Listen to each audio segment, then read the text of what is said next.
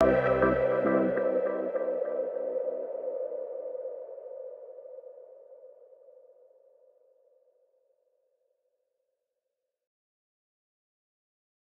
this video, we'll explore a wide input isolated DC to DC converter project. This design is based on a flyback topology and provides two independent isolated outputs. It's uh, capable of operating from a very wide input range between 50 volts and 300 volts DC, which makes it suitable for applications where the input voltage can vary significantly. The author is Hesam Moshiri, who holds an MSc in Embedded Systems Design and has extensive experience in electronic design and digital marketing. He also runs the YouTube channel MyVanitar, where he shares electronic projects, design techniques, and measurement tips. Welcome on board, friends! This is an isolated DC to DC converter board with three outputs based on the flyback topology the input voltage range is quite wide from 50 to 300 volts. It has three outputs. Let me show you. These are the outputs 5 volts, 3.3 volts, each capable of supplying 500 milliamps continuously, and the third one is 15 volts, which is fully isolated from the other two and regulated independently. It can provide up to 300 milliamps continuously. Alright, this is the PCB project of this power supply and here is the schematic diagram and this one is the PCB layout. Let me start to explain the schematic from this edge and this DC input. This is a common mode choke for noise reduction and as you see I placed the ground reference at the exit point of this common mode choke. That's fuse for, prote for protection. That's NTC to limit the inrush current. This capacitor is to reduce the high frequency noises. This capacitor is to reduce the ripple. These two series resistors provide the initial startup current for the controller, that's IC3. These components, I mean these three resistors, this capacitor and this diode belong to the snubber circuit to protect the MOSFET Q1 against high voltage spikes and ringings on the primary of the transformer. This is the main purpose of using a snubber. However, if the snubber is designed properly, it reduces the conducted emission also. After the startup process, we have to supply the controller by another method because the uh, operation current of the controller is higher than the startup current. So we have to use an auxiliary winding on the transformer. Then this diode rectifies the AC voltage of the auxiliary. These two capacitors reduce the noise and ripple of the voltage and this Zener diode is to ensure that this voltage on the supply rail does not go higher than 24 volts because if this voltage goes higher than 30 I think for this controller it will activate the self-protection feature of this controller and the output will be turned off because it stops the switching.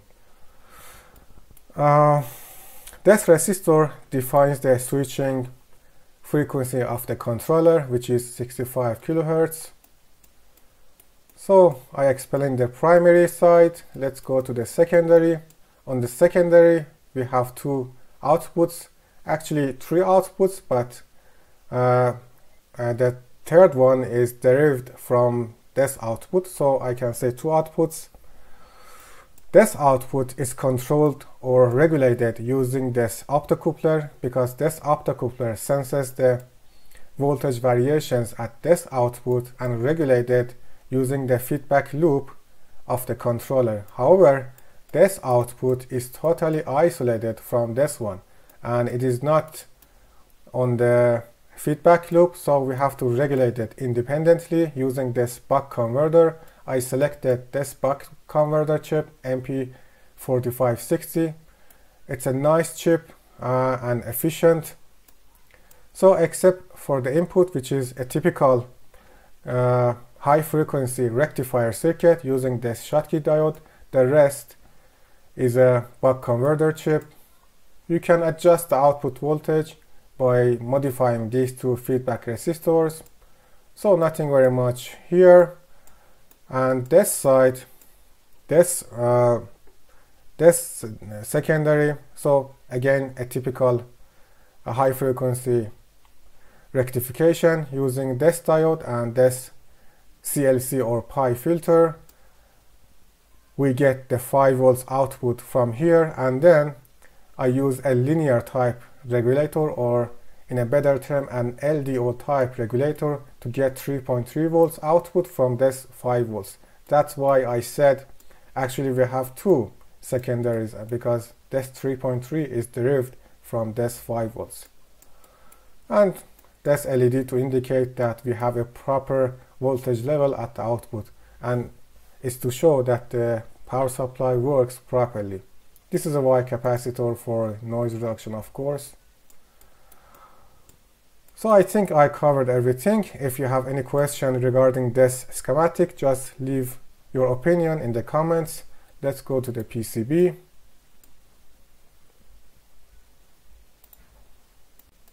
So this is a two-layer PCB for both the primary and the secondary side.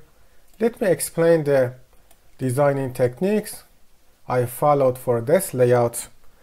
The first and maybe the most important one is this trace. I mean the trace between the drain pin of the MOSFET and the primary of the transformer.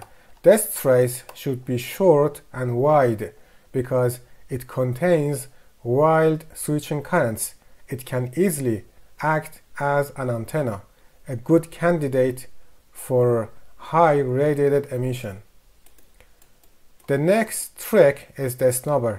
The snubber circuit should be placed as close as possible to the transformer and I personally suggest to use SMD type resistors for the snubber because I experienced its good effect on the waveform of the snubber. I show you the waveform of the snubber in the next step. If you can use SMD type for the capacitor is also fine, but I suggest you to at least use SMD type for the snubber resistor. The next point is this loop from the positive, positive pin of the Schottky diode to the ground pin of the first capacitor here. This loop should be as small as possible. It has a significant effect on the output noise.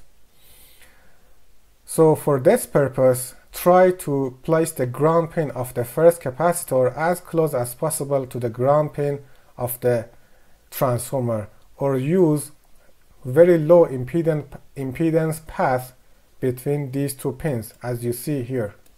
The same thing happens here. This is the Schottky diode to the first capacitor and here is the ground pin of the capacitor and this is the ground pin of the transformer because for this secondary uh, you would not solder the ground pin of the winding on the bobbin instead the wires comes out from the bobbin and is soldered directly on the PCB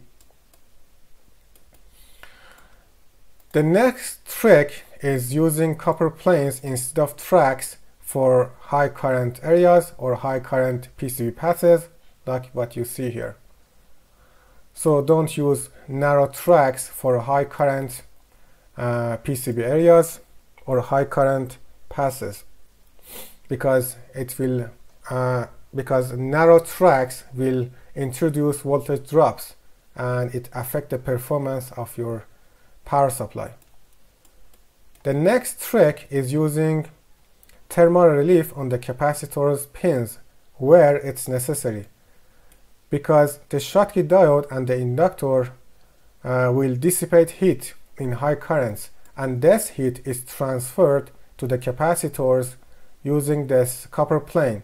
So you should use thermal relief on the capacitor's pins and to protect the capacitors against this uh, heat because heat is an enemy for the capacitors it reduces the lifetime of capacitors dramatically. I can say heat is a poison for the capacitors.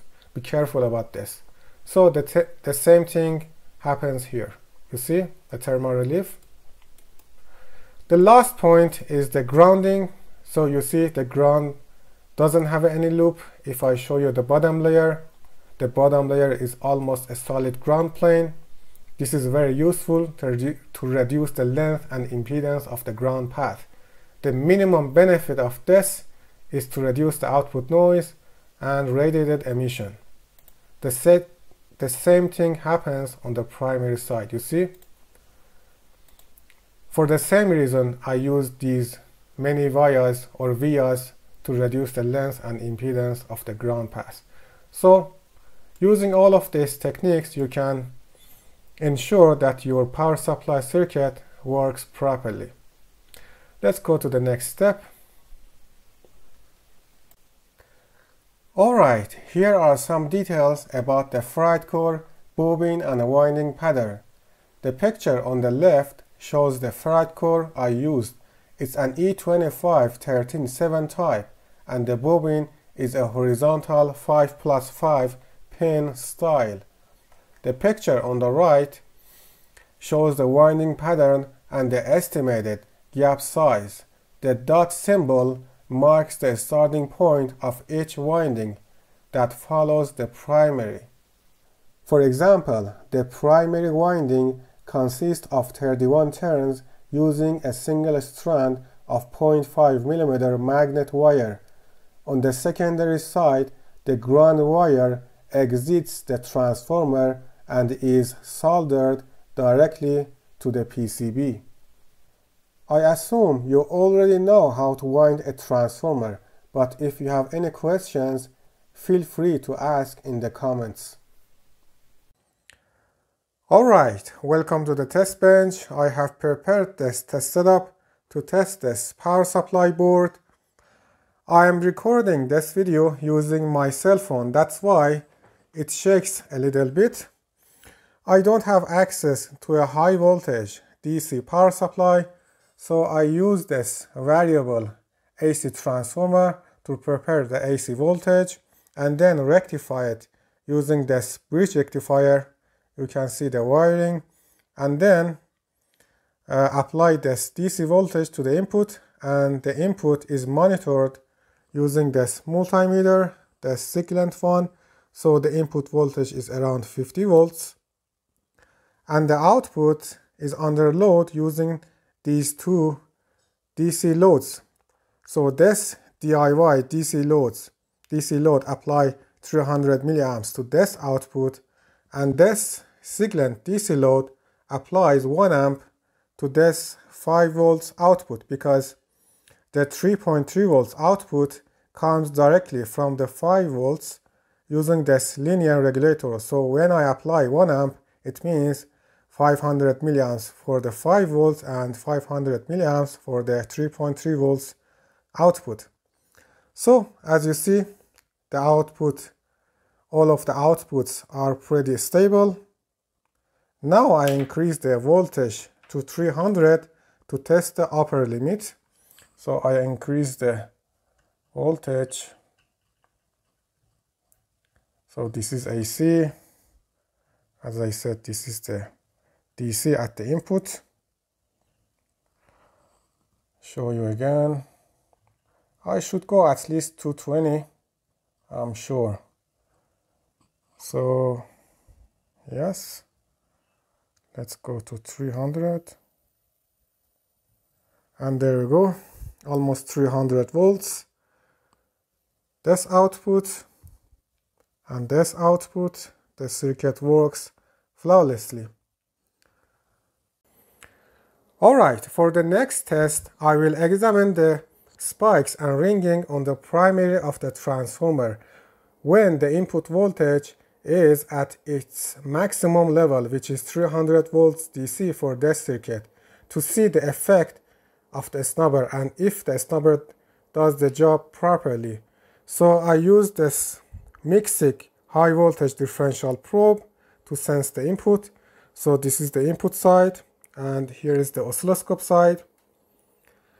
The DC loads applies the maximum load to the output 1 amp and 300 milliamps and here is the results worst case scenario and the measurement says the maximum peak-to-peak -peak voltage is around 540 volts which stays well below the maximum drain source voltage of the MOSFET. Now the first test is passed. Now I'm gonna check the behavior of the ringing if we see any sharp edges on this ringing. And as you see there is no sharp edge on this ringing at the edge of the pulse. So there is no high frequency uh, elements in this waveform and the snubber does the job perfectly.